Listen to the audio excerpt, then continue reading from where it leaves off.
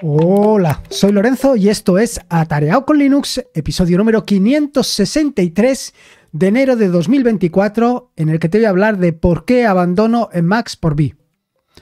Y voy a empezar por lo primero. Todavía no termino de acostumbrarme a esto de la fecha. Ya veremos si lo continúo o no lo continúo porque no lo termino de tener claro. Y lo siguiente es el título. Te acabo de decir el título del podcast, Abandono Emacs por B. Y te lo he dicho cuando normalmente no lo digo por dos razones. La primera es porque tiene relación con lo que te voy a contar a continuación. Y la segunda es porque básicamente yo, como escucho los podcasts cuando voy a correr, siempre pienso que los demás tampoco escuchan o ven, perdón, mejor dicho, ven el título del podcast. Eh, probablemente tú a lo mejor has visto el título del podcast y en función del título del podcast decidas si lo escuchas o no. Yo no. Yo tengo una serie de podcasts que escucho siempre, incluso cuando no tengo más remedio, porque quiero decir, voy corriendo y no me preocupo de cambiar cuando están haciendo algo que no me interesa. En fin, que lo escucho de seguido. Y por eso digo, voy a contar cuál es el título del podcast porque es eh, importante para lo que te voy a decir. Y es que abandono Emacs por B. Y esto es un clickbait en toda regla. Sí, un clickbait de estos brutales.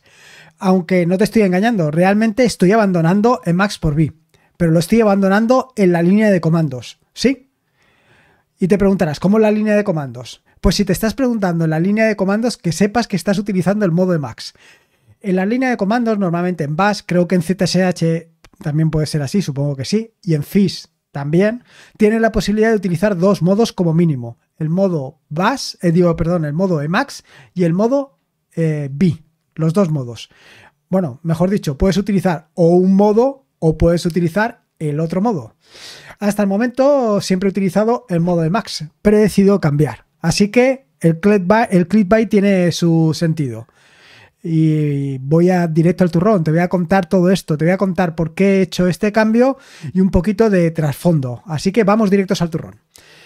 Y empiezo por un paseo por el pasado. Mm, como te decía en la introducción, si, y si no lo sabes, en tu línea de comandos tienes la posibilidad tanto de utilizar los atajos de teclado de Emacs como los modos de funcionamiento de B. No los de BIM ni NeoBIM, sino los de B. Esto es importante. Y yo, pues durante muchos años he sabido que estaba ahí, en alguna ocasión lo he probado, pero lo he probado, como ya he contado en algún episodio del podcast, cuando todavía no tenía suficiente madurez como para gestionar eh, o para trabajar directamente con la terminal. Sí, trabajaba con la terminal, pero no lo, tenía suficientemente interiorizado como lo tengo ahora. Y no solamente esto, claro, en aquel momento probablemente tampoco tenía el conocimiento, la fluidez con la que hoy trabajo con NeoBIM. Bueno, NeoBIM, BIM y B, por así decirlo. Entonces, bueno, pues simplemente fue probarlo, ver lo que había y dejarlo. Sin embargo, eh, está ahí, tienes ahí esa posibilidad de utilizar B directamente en la línea de comandos o utilizar Emacs. Como te decía, eh, en el episodio 559 del podcast que titulé Fish ha revolucionado mi terminal de Linux, em, esto lo publiqué pues hace dos o tres semanas, pues, realmente eh, supuso un cambio pues, a cómo yo estaba trabajando eh, directamente en la línea de comandos. Esto ha sido verdaderamente revolucionario. No solamente ha sido revolucionario por el cambio de ZSH a Fish, sino también porque ha venido acompañado de otros cambios lógicos. Uno de los cambios ha sido cambiar, valga la, redundancia, como dice Refog, cambiar em, los alias por abreviaturas. De esto ya te hablaré más adelante. Otro de los cambios que he hecho ha sido ir migrando los scripts que tenía en Bash, en ZSH, ir migrándolos a eh, Fish. Y el tercero de los cambios, de los muchos cambios que he hecho, es precisamente este, cambiar de Emacs a B en la línea de comandos. Pero, ¿cuáles son las razones que me han llevado a este cambio? ¿Por qué he decidido cambiar eh, los atajos de teclado, el modo de funcionamiento de Max por los modos de funcionamiento de B. Bueno, lo cierto es que llevo eh, algunas semanas estudiando con detalle cómo funciona Fish. Eh, he aprendido como el uso interactivo, he aprendido un poco de scripting en Fish. Bien, estoy trabajando sobre esto y durante este estudio y aprendizaje de Fish he caído en aquello de que tienes la posibilidad de utilizar el modo Emacs y el modo Fish y el, modo B. Se me había olvidado por completo. lo había dejado desterrado, como te decía. Y lo había dejado desterrado por las razones que te he contado anteriormente, porque probablemente no estuviera suficientemente maduro como para aceptarlo. Sin embargo, digo, ostras, ¿y por qué no? ¿Por qué no le vamos a dar una segunda oportunidad? Luego, otra de las razones que me ha dado es las posibilidades que tiene FIS de la edición multilínea en la línea de comandos. Como lo estás oyendo, sí. Directamente en la línea de comandos tienes la posibilidad de editar en multilínea, no en una única línea. Es cierto que esto en Bash y en ZSH también lo puedes hacer utilizando la contrabarra, pero en el caso particular de Fish tienes tres, hasta tres opciones para utilizarlo. Por ejemplo, si estás escribiendo un bloque, por ejemplo un condicional, eh, hasta que no terminas el condicional no se ejecuta. Y si estás eh, escribiendo el condicional y saltas de línea, no se ejecuta, sino que te permite seguir escribiendo otras líneas hasta que no pones el end del if, por ejemplo, o hasta que no pones el end del for, eh, lo que te permite escribir en, muchas líneas. Pero no solamente está esta opción, también puedes estar escribiendo un comando y pulsar en vez de enter, alt enter, y saltas a una siguiente línea. Con lo cual, tienes también la posibilidad de multiedición. Y por último, como te digo, la de la contrabarra podrías pensar, bueno, hasta aquí más o menos es lo mismo que podrías hacer con Bash. Hombre, exactamente lo mismo no, porque es mucho más cómodo directamente utilizar eh, eh, los bloques o utilizar el Alt más Enter para saltar de línea. Pero es que eh, cuando estás trabajando con el historial y recuperas uno de estos comandos, no te aparece como en Bash que te aparece en una única línea. En FIS te vuelve a aparecer en la edición multilínea. Y si en un momento determinado te equivocaste al escribir algo, ahora lo puedes reescribir, lo puedes editar y lo puedes modificar. Y esto es fantástico. Otra de las características, otra de las motivaciones que me han llevado a mm, desechar Emacs en favor de B ha sido el copiar y pegar. Me resulta muchísimo más cómodo y más intuitivo trabajar con el modo de copiar y pegar tanto en el modo de visual como en el modo normal de B que eh, utilizando atajos de teclado. Evidentemente esto es por eh, el uso que hago yo de NeoBeam. Estoy tan acostumbrado a hacer este tipo de operaciones que las tengo completamente interiorizadas. Y por esto, antes de utilizar un atajo de teclado, prefiero utilizar las combinaciones de teclas que utiliza B para este tipo de operaciones. Y luego, por último, la tercera de las razones es por el propio uso de NeoBeam. Y es que, claro, te puedes hacer una idea que en mi flujo de, trabajo tengo completamente interiorizado el uso de BIM y NeoBIM. Bueno, em, tan interiorizado que incluso en otros editores, como ya te he contado anteriormente, pues lo tengo instalado. Tengo instalado un complemento que me permite emular el comportamiento de NeoBeam en Visual Studio Code, por ejemplo, por decirte algo. Igual en PyCharm, etcétera, etcétera. Así, pues cuando estoy en el en la línea de comandos, pues seguir utilizando los atajos de teclado de BIM, los modos de BIM, pues tienen todo el sentido del mundo. Y no solamente esto, es que ahora eh, la posibilidad de la edición multilínea que te permite Fish, pues es fantástica. Y soy consciente de que esto no debería de abusar. Quiero decir que no debería de abusar de la edición multilínea.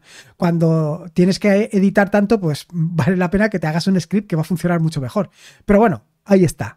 Y me he viciado un poco y por eso le estoy sacando mucho partido. La cuestión es que al final, pues digo, bueno, voy a darle una nueva oportunidad al modo de edición de B en la línea de comandos y vamos a ver cómo evoluciona esto. Al final tampoco te creas que es tanto em, cambio el que se produce al utilizar B como el modo de edición en la línea de comandos, porque hay muchos atajos de teclado que son exactamente igual en uno que en otro. Y luego normalmente siempre entras en el modo de inserción de B cuando estás en la línea de comandos, con lo cual no te das cuenta hasta que escapas o hasta que escapas y pulsas V para entrar en modo visual. Entonces tampoco hay tanto problema. Dicho esto, explicadas mis razones, ahora viene el razonamiento contrario. Quiero decir que eh, después de darle muchas vueltas, después de estar pensando, estuve pues indagando en internet pues otras opiniones y me encontré un artículo muy interesante que justo decía todo lo contrario. Es decir, ¿tiene sentido realmente cambiar del modo de Emacs al modo de B en la línea de comandos? Y una vez leído el artículo, una vez pensado todo, al final la conclusión a la que llegué yo mismo era no, no tiene ningún sentido. Y no tiene ningún sentido por una razón fundamental. Y es que, una razón fundamental, quiero decir que Emacs tiene una ventaja de Emacs. Y es que Emacs es el modo por defecto que vas a encontrar allá donde vayas. En cualquier terminal, en cualquier, incluso en la terminal de o en la línea de comandos de la shell de Python, también lo vas a encontrar, los atajos de teclado de Emacs. Entonces, ¿realmente tiene sentido utilizar o aprender adrede el funcionamiento o el modo de comandos de B en la línea de comandos? ¿Realmente? ¿Qué probabilidad hay de que alguien, de que tu compañero, del que tienes sentado a tu lado, que está trabajando contigo codo a codo, que incluso estáis haciendo eh, programación en pareja, eh, utilice él también Fish? Digo, perdón, que utilice también B eh, como... Es muy difícil, es muy complejo. ¿Y todo para qué? Simplemente porque vas a editar algo. La verdad es que si lo piensas un poco, vale la pena aprender Emacs, eh, mejor dicho, aprender el modo, no, me confundáis, yo voy a seguir con, con, BIM y en principio, y esto quería decirlo y se me ha olvidado, eh, no tengo ninguna intención de eh, probar Emacs por lo menos a corto plazo, más que nada por la cantidad de frentes abiertos que tengo actualmente y que ya irás viendo más adelante, pero actualmente tengo varios frentes abiertos y entre mis prioridades, desde luego que no está aprender actualmente Emacs. Pero bueno, dicho esto, aprender Emacs para trabajar en la línea de comandos sí que vale la pena. Y vale la pena porque te va a permitir ser muchísimo más productivo de lo que eres si no los dominas. Si, no dominas los atajos de teclado fundamentales que tienes. Si no dominas cómo puedes ir al principio de la línea de comandos, ir al final de la línea de comandos. Todo eso tienes que saberlo. Cómo puedes cortar, cómo puedes. todo ese tipo de operaciones.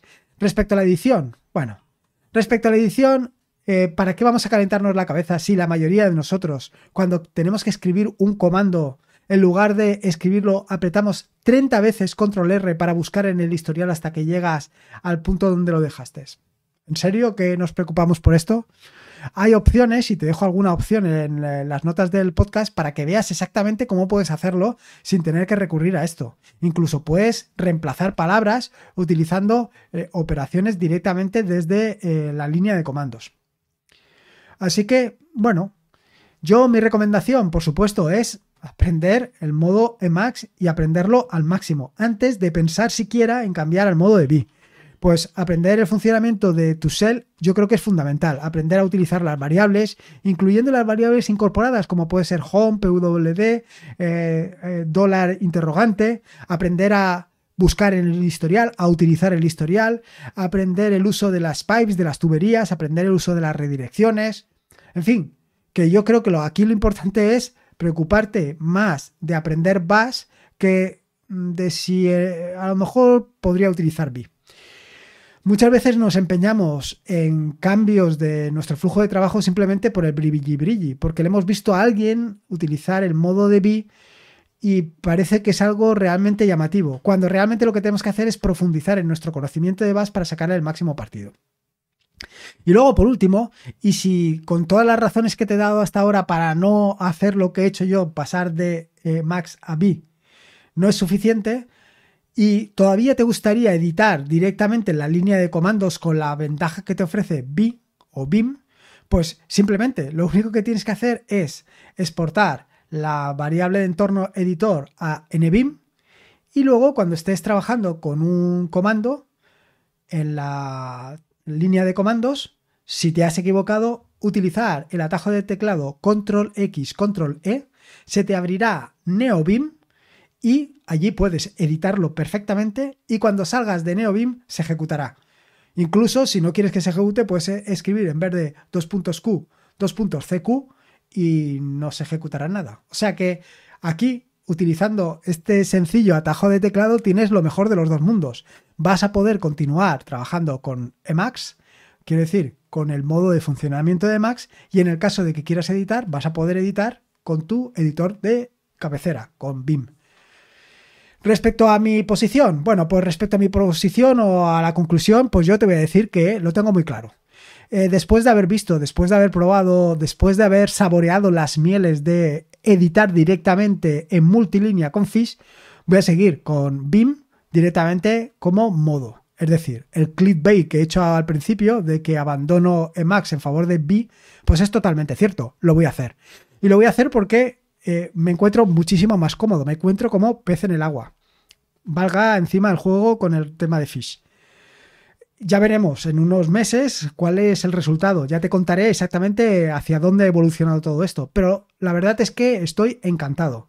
Tanto por el conocimiento de Fish, por el aprendizaje de Fish, como por las posibilidades que me está ofreciendo esto de la edición directamente en la línea de comandos. Y nada más. Todo esto es lo que quería contarte. Espero que te haya gustado este nuevo episodio. Ya sabes, una valoración en Evox, en Apple Podcasts, en Spotify. Recuerda que en Spotify estoy dejando alguna encuesta para conocer tu punto de vista.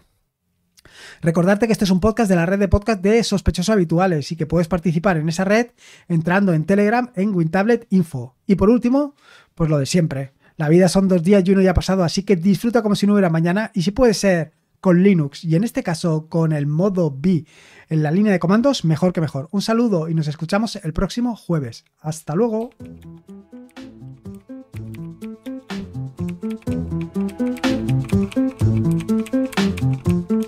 Adiós.